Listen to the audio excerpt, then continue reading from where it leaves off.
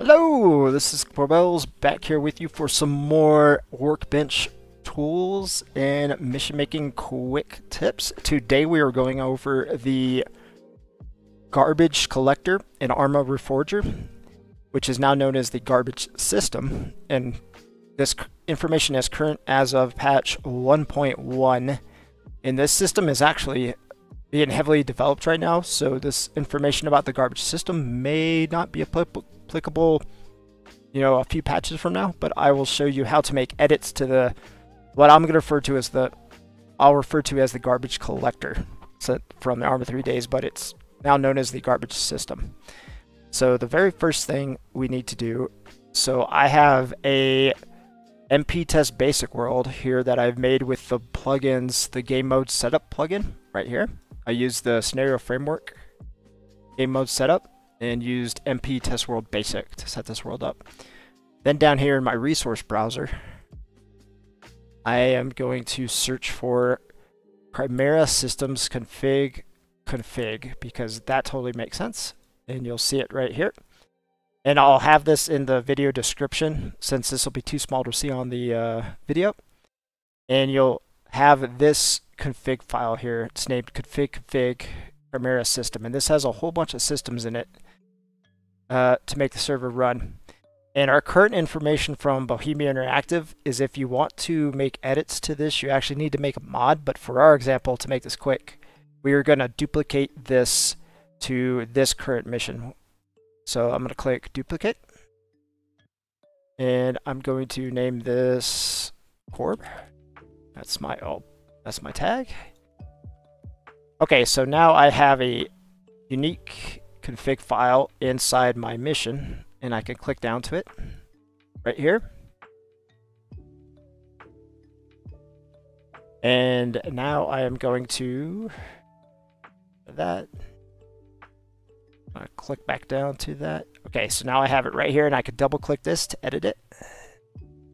So now this took me to back to the Enfusion Workbench main screen.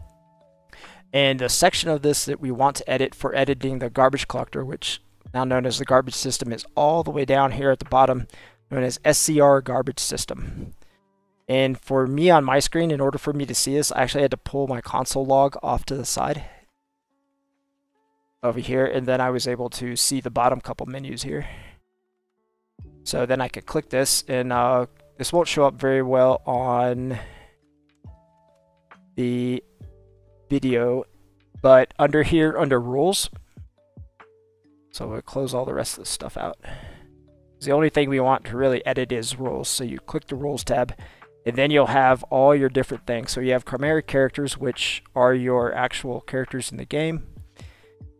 Then you have uh, inventory item component, vehicles, grenades, smoke grenades, and campaign and stuff like that. So one tips from uh, the developer is if you do not want items that are sitting on the ground to be garbage collected, you click on here rules and then go down to inventory item component.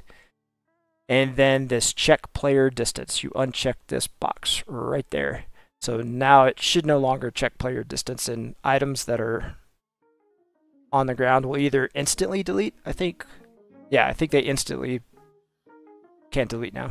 I don't actually have the developer post up in front of me, but yeah.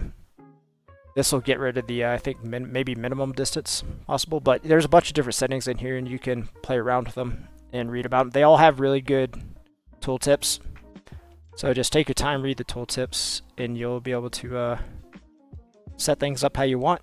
Uh, if you want to avoid all this, right now there are some great mods on the workshop which you can use if and you can just skip all these steps. So if you search the uh, Discord or if you search the workshop, they have I think it's called Better Garbage Collector or Improved Garbage Collector. And yeah, highly recommend those if you want to skip the step. But that is how you adjust the garbage system as of patch 1.1. Good luck and have fun.